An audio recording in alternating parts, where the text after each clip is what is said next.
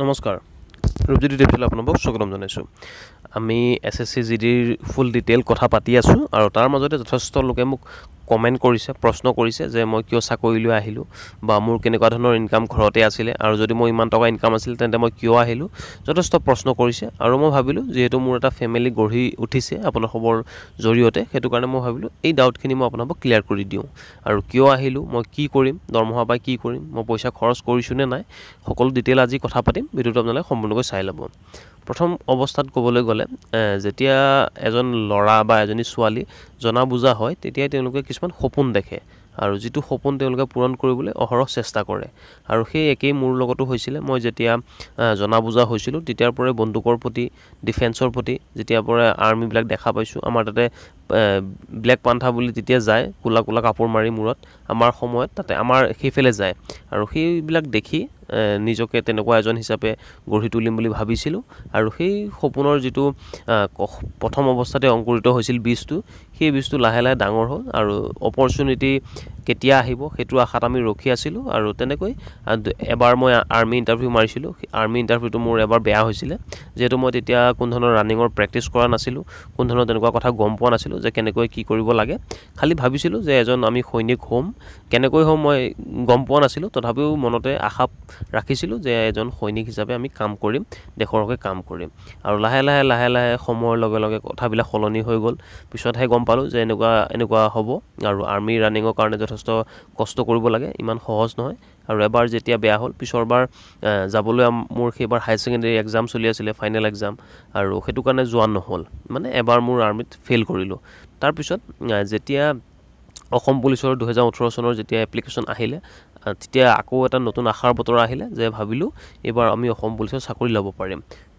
খুব ধুনীয়াকৈ তেতিয়া প্ৰেক্টিছ আৰম্ভ কৰিলোঁ কিন্তু কি ক'ব সময়ৰ লগে লগে আছাম পুলিচৰ ইণ্টাৰভিউটো কমপ্লিট নহ'ল কৰোণা আহিল লগে লগে কিবা কিবি ভেজাল ঢেৰ হ'ল। যাৰ ফলত আমি আছাম পুলিচৰ যিটো ইণ্টাৰভিউ আছিলে সেইটোও দিব নাপালোঁ। আৰু তাৰ লগে লগে আহি গৈছিলে S S C G D দুহেজাৰ ওঠৰ চনৰ এপ্লিকেশ্যন আৰু সেই এপ্লিকেশ্যন ভৰাই চিন্তা কৰিলোঁ যে এইবাৰ চাকৰি আমি ল'বই লাগিব যেনেকৈ নহওক। তাৰপিছত সেই হিচাপত মই কামো কৰি আছিলোঁ আপোনালোকে গম পায়। মই মানে চাকৰিটোৰ কাৰণে বা নিজৰ ব্যৱসায় কৰিম বুলি ভাবি মই যথেষ্ট কাম বাদ দিছিলোঁ। আৰু কি কি বাদ দিবলগীয়া হয় এজন এজন যদি আপুনি চাকৰি বিচাৰি থকা যুৱক হয় তেনে যথেষ্ট কথা আপুনি বাদ দিব লাগিব। সেই কথাখিনি বাদ দিব পাৰিলেহে আপুনি এবাৰতে ছাকচেছ হ'ব পাৰিব। যিখিনি প্ৰথম অৱস্থাত মই বাদ দিয়া নাছিলোঁ পিছত লাহে লাহে বাদ দিবলগীয়া হ'ল আৰু সেইখিনি কথা বাদ দিলেহে আপুনি জীৱনত সফল হ'ব পাৰিব। প্ৰথম অৱস্থাত মই ক'বলৈ গ'লে যেতিয়া মই দুহেজাৰ ওঠৰ চনত এপ্লাই কৰিছিলোঁ তেতিয়া মই আই টি আই পাছ কৰি আই টি আই পাছ কৰিছোঁ just I T I pass কৰি মই গ্ৰেজুৱেশ্যনৰ কাৰণে নাম নলগালোঁ। প্ৰথম কথা সেইটো গ্ৰেজুৱেশ্যনৰ কাৰণে মই নাম নলগাই মই ঘৰলৈ গুচি গ'লোঁ। মই নগাঁৱত পঢ়ি আছিলোঁ যিহেতু মই ঘৰলৈ গুচি গ'লোঁ। এটা কাৰণেই চিন্তা কৰি যে মই যদি গ্ৰেজুৱেশ্যন কৰি থাকোঁ পঢ়ি থাকোঁ তেন্তে মই চাকৰি নাপাম। বা চাকৰি ল'বলৈ মোৰ দিগদাৰ হ'ব। আৰু যিহেতু ভাড়া ৰুমত থাকিলে ৰানিং কৰা ডাইট মেইনটেইন কৰা যথেষ্ট অসুবিধা হয় আৰু ৰুমত থকাৰ ফলত মোৰ ৱেটো যথেষ্ট বাঢ়ি গৈছিলে। যাৰ ফলত মই সেইটো টাৰ্গেট কৰিলোঁ যে মই ঘৰত যাব লাগিব আৰু পঢ়া শুনা কৰি থাকিলে বা যদি মই পঢ়ি থাকোঁ তেন্তে মই হয়তো চাকৰি ল'ব নোৱাৰিম কেতিয়াও। আৰু ৱেট যেতিয়া বাঢ়ি গৈছিলে তেতিয়া মই দুইৰ পৰা তিনি পাক যেতিয়া ফিল্ডত ৰানিং কৰোঁ নগাঁও ৰিজাৰ্ভ ফিল্ডখনত তেতিয়া যথেষ্ট ভাগৰ লাগে। আৰু মই তেতিয়া চিন্তা কৰিলোঁ যদি মই এনেকৈ থাকোঁ ইয়াতে তেন্তে মই কেতিয়াও চাকৰি কৰিব নোৱাৰিম চাগে। আৰু আই টি আই কমপ্লিট কৰিয়ে মই ততাতৈয়াকৈ ঘৰলৈ গুচি গ'লোঁ। গাঁৱত গৈ মই ৰানিং ষ্টাৰ্ট কৰিলোঁ। তেতিয়া আছাম পুলিচৰ কাৰণে প্ৰথম অৱস্থাত ৰানিং ষ্টাৰ্ট কৰিছিলোঁ আৰু লাহে লাহে এছ এছ চি জি ডিৰ কাৰণে আৰম্ভণি কৰিলোঁ। যেতিয়া আছাম পুলিচৰ কোনো তেনেকুৱা দেখা নাপালোঁ আশাৰ বতৰা তাৰপিছত আমি এছ এছ চি জি ডিৰ কাৰণে লাগি গ'লোঁ। আৰু সেইটো হিচাপত মই ষ্টাডি কৰিলোঁ কেইদিনমান। বৰ বেছিদিন ষ্টাডি কৰা নাছিলোঁ। সেই হিচাপত ষ্টাডি কৰিলোঁ আৰু লগে লগে মোৰ চেনেলৰ কামখিনিও চলি থাকিলে।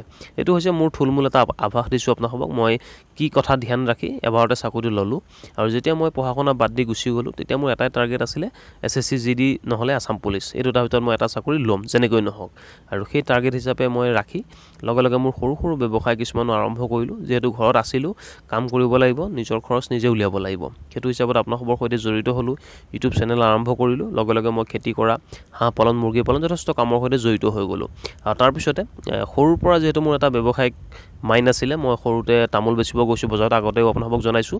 আৰু এইবাৰো মই যিহেতু জলকীয়া বেচি আহিছোঁ, এই সৰু সৰু কথাবিলাকে মোক ব্যৱসায়ৰ প্ৰতি যথেষ্ট আকৰ্ষিত কৰিছিলে। আৰু ব্যৱসায়ৰ যিটো মহত্ব বা ব্যৱসায়ৰ যিটো মিঠাচ এই মিঠাচটো বেলেগ ক'তো নাই। যিসকলে ব্যৱসায় কৰিছে, তেওঁলোকেহে গম পায়। ব্যৱসায়ৰ যিটো মিঠা, সেইটো খুব ধুনীয়া লাগে। আৰু আপুনি চাকৰি কৰক বা বেলেগ যিয়ে নকৰক কিয়, আপুনি যদি বজাৰত গৈ কিবা বস্তু বিক্ৰী কৰি পইচা পায়, সেই পইচা, পইচাটোৰ নিচিনা মূল্য আৰু ক'তো নাই। সেইটো এটা অমূল্য বুলি ক'ব লাগিব।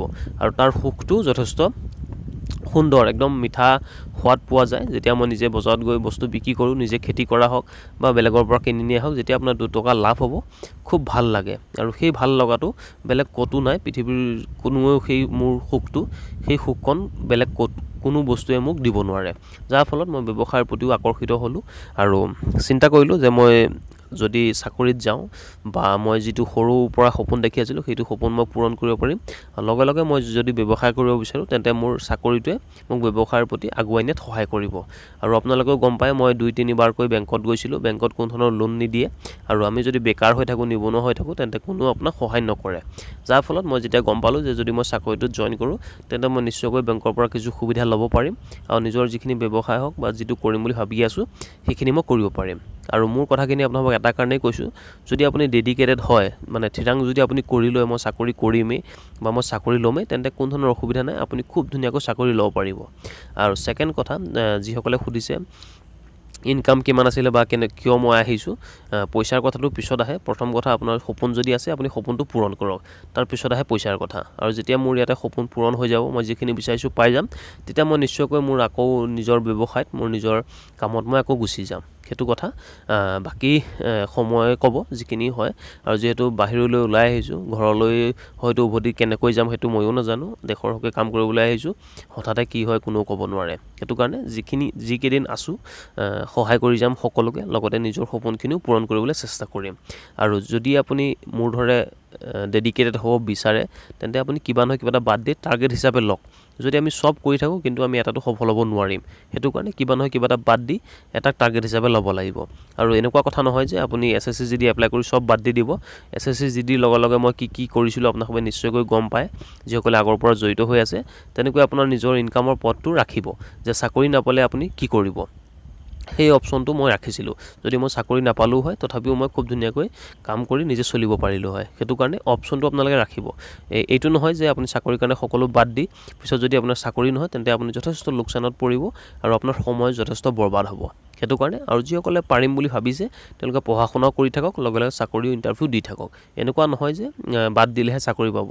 তেনেকুৱা কোনো কথা নাই। আপুনি বাদ নিদিয়াকৈও চাকৰি ল'ব পাৰিব। বেলেগ চাকৰি কৰি থাকিও আপুনি এছ এছ চি দি চাকৰি ল'ব পাৰিব। সেইটো আপোনাৰ ওপৰত ডিপেণ্ড কৰিব। যিটো হিচাপত আপোনালোকে কেপাচিটি আছে আপুনি কণ্ট্ৰল কৰিব পাৰে তেন্তে আপুনি নিশ্চয়কৈ ল'ব পাৰিব। আৰু আজি ভিডিঅ'টো ইমানেই। ভিডিঅ'টো ভাল লাইক কৰি দিব। প্ৰশ্ন কৰিলে কমেণ্ট কৰক। আৰু আগলৈকে আমাৰ চেনেলটো এইদৰে চাই থাকিবলৈ চেনেল ছাবস্ক্ৰাইব কৰি বেলটো বজাই ল'ব। ধন্যবাদ।